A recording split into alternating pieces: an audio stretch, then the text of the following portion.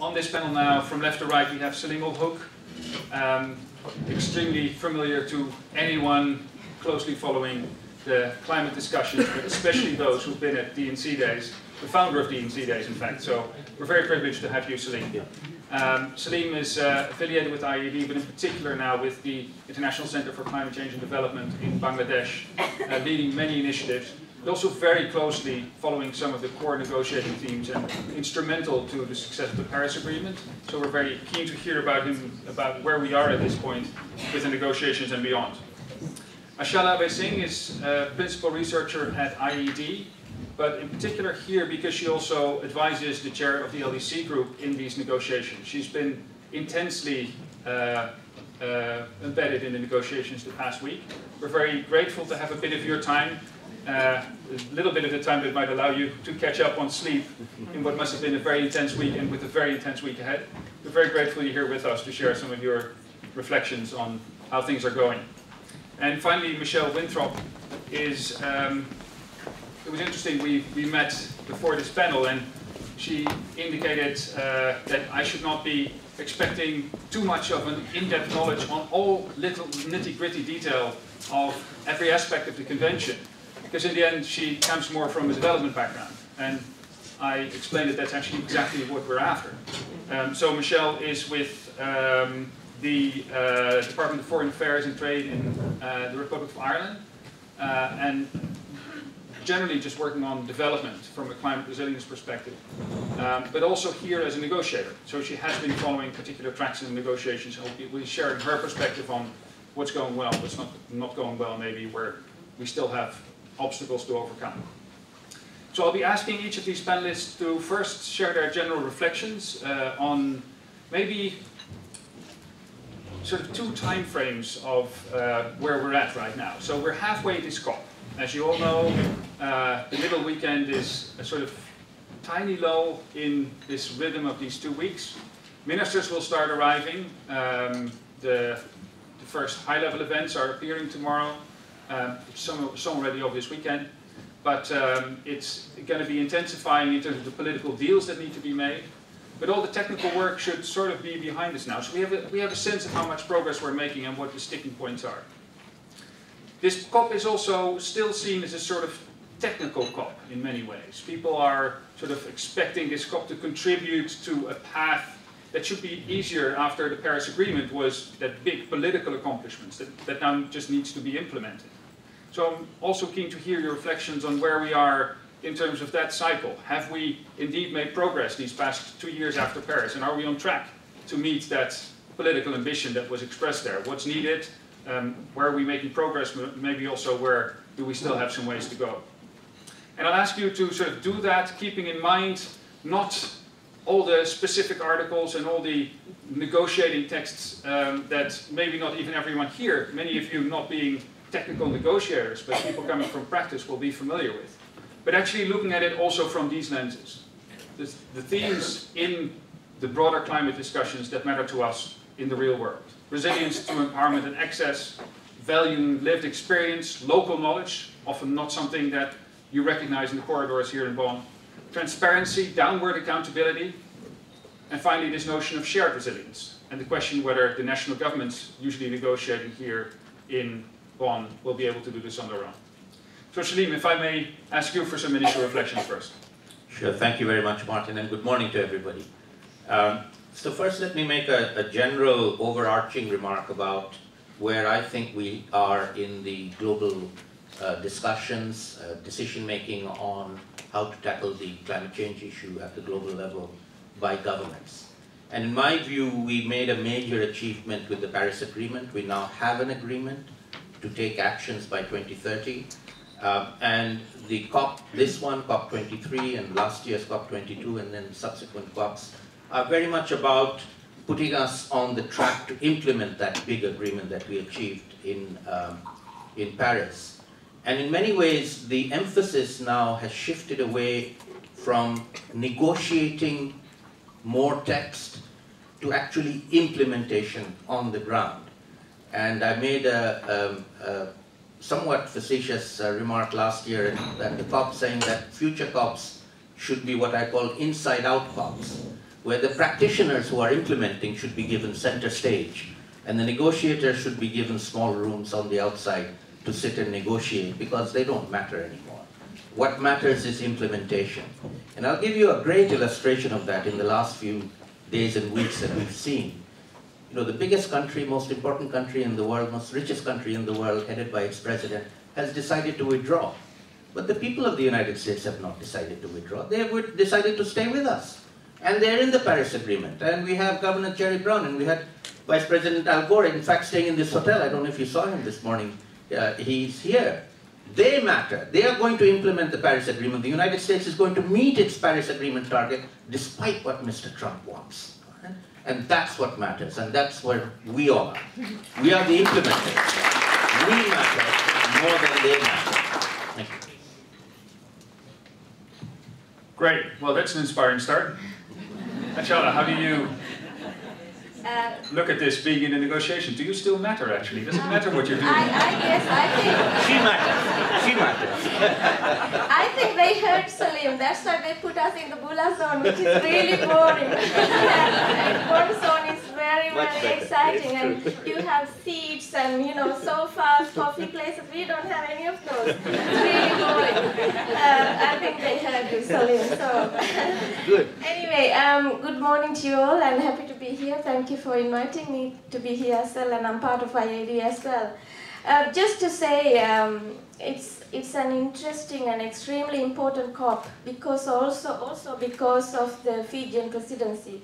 The first time ever in the history, a small island country hosting a COP, and uh, it's setting up examples. LDC is already talking about hosting COPs, so it is changing. And then we are bringing in that moral voice to negotiations from the least developed countries side as well as small island developing states. So it's, it's a very important COP. And uh, Maarten, you mentioned that this is a, like a technical uh, kind of COP, and we, that is true. But we are trying to make sure that this is actually not seen as a transitional COP. We want to make sure there are a number of good decisions made here, and that we don't see this as a step towards 2018 because this one is also um, extremely important. And coming here um, from the LDC's point of view as well as uh, supporting the the expressing our full support to the Fijian presidency, we came with a number of expectations, and those included um, uh, obviously uh, making progress on Paris, uh, Paris Agreement's uh, implementation guide now as we call it, we used to call it the rule set or the work program of the Paris Agreement, but now we call it the implementation guide.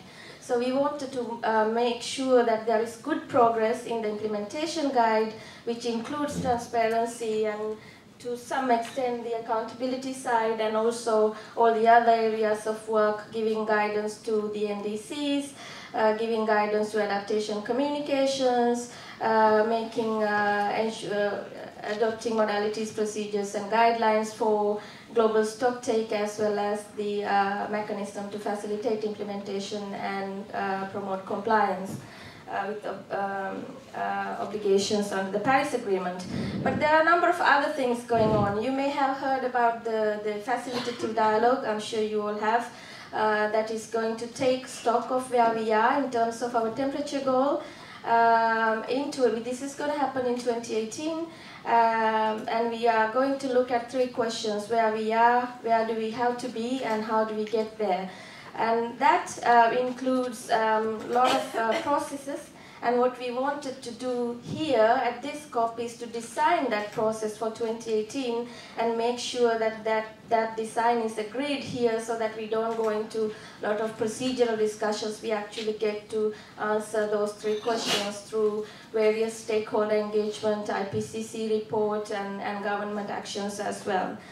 And uh, we also want to, to push for the Gender Action Plan, the adoption of the Gender Action Plan here, and the Fijian presidency is, is uh, very keen to get this done here, and we moved a lot of progress. Uh, now we have a draft decision and, and a good work plan that's going to be adopted here. Also, Indigenous uh, Peoples uh, platform another platform where we actually bring in practitioner side uh, is going to be uh, adopted here. And also very importantly, uh, the adaptation fund discussion is uh, extremely interesting.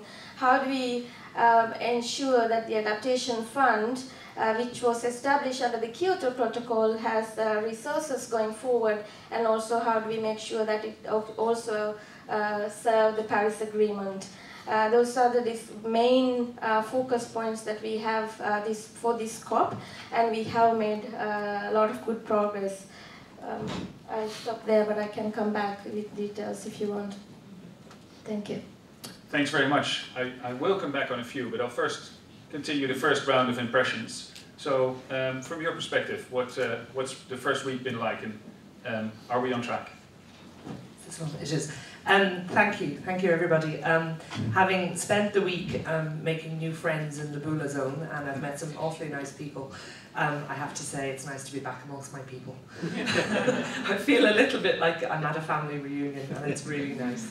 Um, so. Um, yeah, first impressions. I, I, as you mentioned, I've been sitting in a lot of the negotiations. I, I have been mostly in the Bula zone, although I belong in the Bonn zone. And um, it, it is marked how different the atmosphere is between the two locations. Um, and, and just the mood, you know, there's a real sense of optimism and, and communal action in the, in the sort of Bonn zone discussions. And yet, in the Bula zone, it does still feel a little like it was 10 years ago. Um, I suppose the key impression from this COP, as, as Achala said, you know, it is an important COP. Um, and it's important we make progress because the more we do this year, the less we have to do next year. But it's also become very clear to me that there are no quick wins. Um, and we started the week saying, oh, well, this agenda item will be easy and that one will be easy. We'll wrap this up by Thursday. And actually, the, there are a lot of still intractable issues that, that negotiators are struggling with. Um, and maybe some of those old wounds that have been there for a long time, we're, we're calling them different names, perhaps, um, which sort of masks the fact that they haven't been resolved.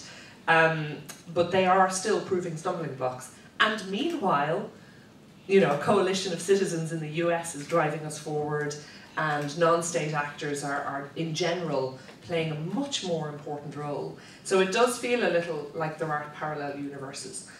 That said, I do think there are grounds for optimism. I do feel that the substance of even the negotiated text is much more practical now. Mm-hmm. It's much more about action.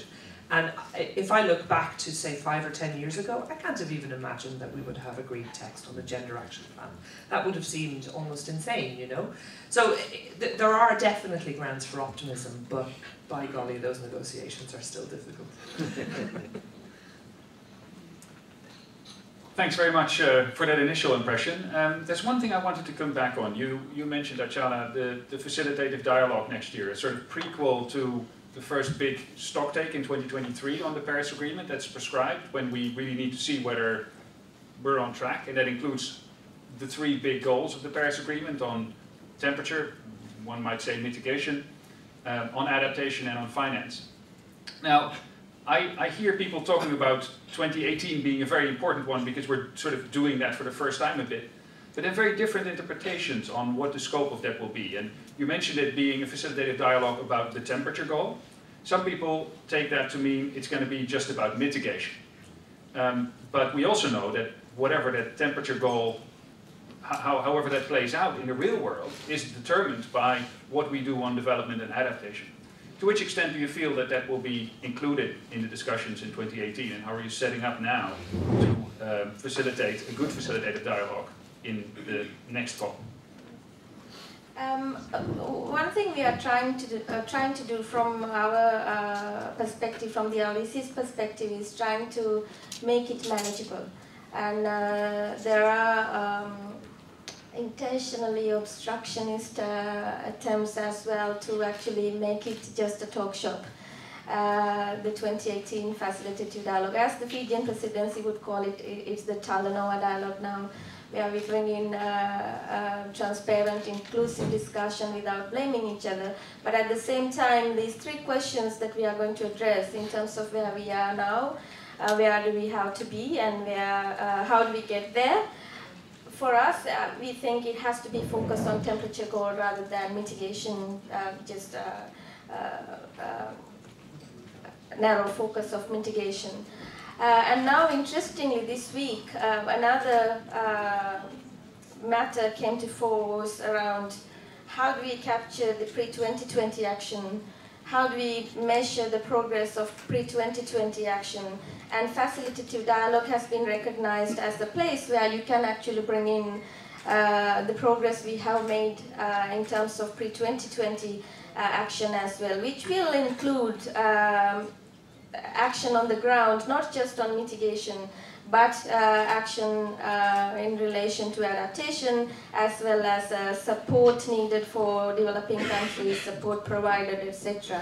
So it's, it is becoming broader, but we have to make sure that it's, uh, it's manageable as well, and, and um, but also um, not allow those uh, obstructionist um, uh, uh, people to actually uh, make it some kind of irrelevant uh, one-off talk shop in 2018. It is a process where we will try to bring in, or the Fijian presidency is actually very proactive in that, trying to bring in all uh, stakeholders, not just the governments, but uh, various stakeholders, the businesses, cities, uh, and local governments, etc., to have that discussion. And around that, the, uh, the uh, 2018 uh, Governor Brown Summit uh, Uh, is quite important, and also the climate champions work under the UNFCCC is also important. And I mentioned before the IPCC report as well. So, yeah. Salim, I see you wanted to come in on this. So I wanted to make a suggestion along the lines I, I spoke about earlier, which is that perhaps it's time for us to step up and to take on some of the burden off the shoulders of the negotiators, particularly since the negotiation process is a consensus-driven one and hence anybody can object and you don't have progress. Uh, to a more inclusive process, maybe D&C Days 2018 is the adaptation dialogue. We bring the adaptation practitioners, we bring people from the grassroots, we bring the funders, we bring governments who are willing. So we have coalitions of the willing to push things forward and not the obstructionists who are in the other rooms stopping anything being agreed. See, when you start doing negotiations on pieces of paper and text, then you can stop agreement. That's what happens. But over here, we can say, what are we going to do? You may not solve the entire problem, you won't have the whole world, but you have a significant part of the people that are that matter to actually do adaptation, make it more effective, get the funding to do it, and we can do that. So maybe D&C Days 2018 is the adaptation dialogue. Okay, there's an interesting thought, and I'll ask the others to comment on that in a minute. But first I want to welcome Ruth, Ruth Spencer, who also, um, first of all, thank you for, for being with us. I know your time as negotiator is also uh, very scarce this week. Um, you're the negotiator for Antigua and Barbuda, uh, a country hit particularly hard in very recent times. So, first of all, um, thanks for, for uh, being with us. Uh, I, I guess even taking the time to be in Bonn and contributing to these global dialogues as your government may have more important things to do at home in some ways at this, uh, at this difficult time. Uh, but also especially thank you for being here with us on this panel. Uh, just to reverse a little bit, um, we have been starting to discuss what has happened in week one and how we're looking at uh, what we can expect from week two. Also a bit in a broader perspective of where we've come from Paris to Bonn and how we're moving forward, with particularly these four lenses back on the screen uh, that the D&C days have been applying to the climate discussions more broadly. But I'd be keen to hear your quick impression on the negotiations so far and maybe also your personal perspective of whether that climate regime is addressing the very pressing issues that your country has been facing recently. Well, first of all, I'm here as a local community NGO representative and the government has put us, has registered us on their team, so that gives us the flexibility and uh, accommodating, you know, our inputs into the discussions. Last week we worked a lot on the gender action plan. We finally got text, and Antigua is the only Caribbean country that has submitted text. So we are very happy that our text was submitted also on the indigenous peoples and locals community platforms. We are very active on this we tried to see coherence with the Convention for Biodiversity, which has really opened up many opportunities for us. Last week I gave a presentation at the Adaptation Fund. We're a small country, limited resources, limited capabilities, but building ourselves. We got accredited to the Adaptation Fund. And what I was able to share that presentation is that the project is impacting the vulnerable, marginalized groups. I actually connected the dots because a lot of people came afterwards and said, you have people at the heart of your project. And we tried to, I tried to bring out the coping skills, even of disabled people, how they try to cope in the midst of devastation. You know, not waiting on the government to come, but you see this half-foot man with his coal kiln trying to remove the water from his kiln. He has some big locks. He said, I need a chainsaw, I need a chainsaw. And I was able to send that picture to several donor agencies that were in Antigua at the time, and they funded the saw. So that was really empowering for me. Going ahead for next week, I have to show now, I'm going to hold a dialogue with the GCF because NGOs and local communities bring, bring so much value to the government of Antigua and Barbuda, but we are not, um, we applied for readiness, but we didn't get it last year. So I'm going forward again today, showing them that as non-state actors in a small country, capabilities exist in our communities, in our churches, in our people, and we are the one that are proactive. Once there's some notification out that this is needed, we don't even wait for the government to tell us because we are in the mailing list. We start the process, we bring the groups together, and we start to draft our text. And the government departments are so overwhelmed, you know, you know, they're, they're touching every focal area. We also engage in the private sector, in the area of waste management, a key area in our NDCs. It's the NGOs that have little actions going at recycling, e-waste, petroleum oils, vegetable oils, but we're not really getting no support. So I have to be their voice here. I have to let the, the various, you know, parties and convention, you know, areas know that the NGOs need support. We are bringing much value added in Antigua and we are seeking to build our own capabilities, we network good.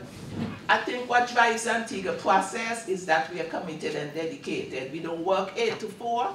If a task is there to be done, we get it done. You know, whether you have to do it over the weekend or into the early morning hours. And this is the message I want that there's the openness and full inclusion of all groups. And I'm trying to demonstrate a small island with limited resources has been doing that. Look at it as a best case and open the doors for NGOs and local communities. Thank you.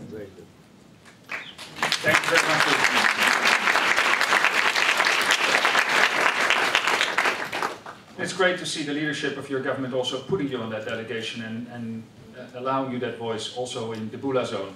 Which, by the way, I've always found puzzling. When I first heard these terms, the Boon and the, the Bonn and the Bula zone, I thought the Bonn zone was going to be the bureaucratic negotiations, and the Bula zone was going to be the welcoming one, the Fijian one, where we'd have our dialogue. So I keep getting confused. Um, I um, will go, so th start thinking about this. I will invite you at your tables to come back to this, um, this question of the inside out COP and maybe even us having the facilitative dialogue on adaptation here next year. Um, and just think around your tables of whether that's a good idea and how we move that forward and maybe formulate that as questions to the panel um, in a minute. But there's one specific element from this COP that I think I'd like to highlight, also having your perspective from Antigua and Barbuda here at the panel, but also Salim, who I know has been working hard on this, the question of loss and damage. Uh, I know the five-year work plan of the Warsaw International Mechanism is being discussed here. Um, how is the Bonn zone, um, sorry, the Bula zone, reflecting on uh, the realities uh, of the climate impacts we already see today? And uh, how do you reflect on the progress of this, uh, this loss and damage uh, negotiating item? Thank you very much. Uh, um, Achala, I'm sure will have a more inside track knowledge about what happened late last night in the negotiations. I, I've given up following it into the, the late night uh, negotiations. But I, I'll say the broader picture is firstly, as uh, Achala said, under the Free Fijian presidency, this was highlighted as one of the issues that Prime Minister of, of Fiji had highlighted coming here to Bonn. And then we had this devastating series of events around the world, including in the United States and in Antigua Barbuda, that has really tipped us over into the reality of loss and damage. It's not something in the future anymore, it's happening right now, it's attributable to human-induced climate change, and hence we need to uh, think about it. We have a structure, we agreed that in COP19 in Warsaw, we have the Warsaw International Mechanism, they have an executive committee, they have a work program, so that's all fine and dandy, you know, they're going around talking, talking, talking, getting more evidence, gathering more knowledge, all very good things. Where they haven't crossed into is yet talking about financing loss and damage, except for insurance. Insurance is very favorite of the developed world, they like doing insurance, but insurance is not going to cut it alone. Right? So we have to go beyond insurance into innovative finance for supporting loss and damage, and the negotiators as of today are not there yet. We have to push them next week so that we do get a decision on this. And to me, this is the arbiter of success in uh, Bonn, COP23. Do we get the developed countries to move beyond insurance as the only innovative mechanism to support loss and damage? We have to go beyond that. Thank you, Sue. Other perspective on that? Yes, like with our recent devastation, non-economic losses are so very important for us. We tried to push it in the gender and a couple countries, you know, didn't support it, but we have to find a way to get it in because, you know, the suffering is so much. Women, their lives, families, community completely displaced. Antigua, we have economic refugees. We had 3,000 people coming from Dominica. We had to move the whole country population. I don't, I'm making appeal to any donor that can assist us with transport. Antigua and Barbuda are two separate islands. And there's a limited transport capacity to take the people back to rebuild their lives. But every time the boat that carries 45 is available. It has on utility workers, it has on NADS, it has on you know other agencies with disaster and the people that are most affected that need to go repair their houses. It's not happening, so the people are still in Antigua, the children are going to school in Antigua and their country is left there. So I'm making this appeal because we have to find a mechanism because the rebuilding process is going to take time. We need transport facilities to get the people across the island. Thank you. Thank you. Thank you. Thank you. It also reminds us of how practical this perspective is. And this is not an abstract dis discussion, sort of a tit for tat in the negotiations about who gets how much to agree with how much of a weaker target. This is very practical. Thank you for reminding us. Can you give us an update on where we stand? And yeah, we're making progress toward what Salim sees as the litmus test for the success of COP23?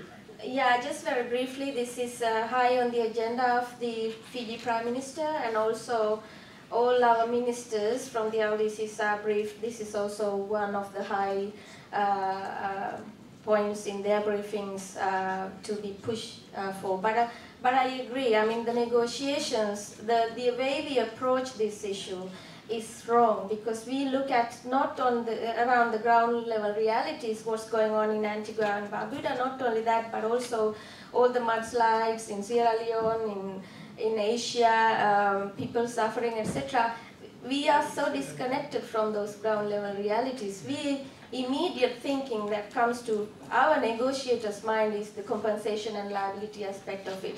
I think it is the time to forget that and that understand that the climate change is happening and that there are things happening in the ground and this is not some abstract word related discussion. This is happening and this is something that we need to address uh, the way we are trying to bring in now is uh, in addition to pushing for a more uh, kind of a permanent regular place for discussion. So at the moment it's a COP agenda item, which means we meet every year, only once a year we discuss about loss and damage.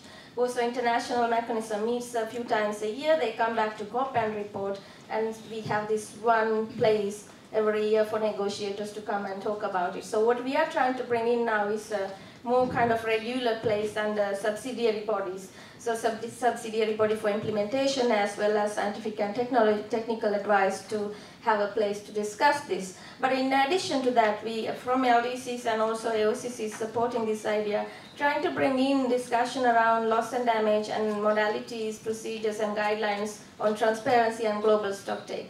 Global stocktake is to take stock of implementation, full and effective implementation of the Paris Agreement, which covers all the, all the uh, articles of the Paris Agreement. So we should not be excluding Article 8 of the Paris Agreement, which talks about loss and damage. So we are saying we need to have this space everywhere. So Gender Action Plan, we, we are trying to bring in loss and damage uh, uh, across the discussion. So finance is one as well under GCF and other bodies that negotiate finance. Thank you. Thanks, Michelle. Can I perhaps come in? Um, I I haven't been following the loss and damage discussions, but I, I'm aware it's it's been difficult. Um, the the thorny issue of money. money has always been a thorny issue, um, but I think what's really interesting this year is that the, reasons why money is difficult this year are, are different maybe to previous years. And there's an acknowledgement in the system that there is money there, but somehow we just can't reach it. And, and that is, um, I, I think, if I'm really honest, from a personal perspective, mounting tension um, around, the, around the table. However, what has been really positive is that um, I think in the negotiations, and, and I will give a lot of credit here to IIED, the, the tone and the clarity and the approach of the LDC group in negotiations has been a breath of fresh air. Because it, they have not been negotiating, in many cases, on points of principle or old wounds. They are really bringing a practical perspective.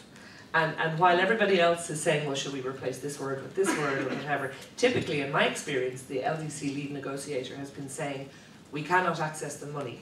This is a problem. We cannot access the money. I don't really care what you put in the text, but listen to us. We cannot access the money, and and that is, um, I think, has been a really positive thing. It's it's almost like a halfway step to, to really bringing in grassroots voice, and we, we, and there have been um, other fantastic initiatives. In fact, I, I should say, um, as the Irish government, we have a farmer from Uganda. I don't know if she's here uh, Constance Okollet, who's actually a, a, member of our delegation. And she has really added value to our perspective because she has reminded us that last year's drought in Uganda destroyed livelihoods, people died, you know, people died. Mm. Remember that, this is very real. So it's it, the, the money discussion, um, it's a bit of a pain, but it is really important. And it will always come back to it, unfortunately. Thank you. Thanks, and good to hear also of these initiatives. Um, also impressive so first of all, several examples of actually people from, I would say, this world, our world, being in uh, the Bula zone, um, but also um, uh, the, the constructive uh, um, attitude of the countries that are actually at the receiving end. And I think that's a precedent that was already set also strongly in Paris itself, where I think Saleem, you played a, an instrumental role also even in getting the 1.5. We were all hopeful for the two degrees going into Paris, and then we got the, the 1.5 aspiration in there as well. I think there was also this sort of very practical leadership, and um, I think we, we owe another round of applause also to these two leaders in particular for um, having made that possible.